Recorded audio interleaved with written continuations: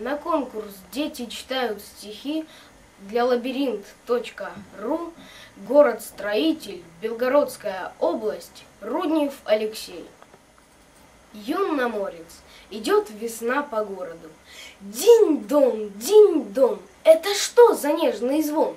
Это пролисок-подснежник улыбается сквозь сон. Это чей пушистый луч так щекочет из-за туч, Заставляя малышей улыбаться до ушей?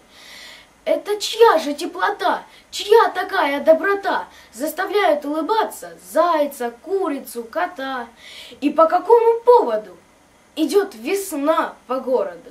И у пуделя улыбка, и в аквариуме рыбка Улыбнулась из водицы улыбающейся птицы.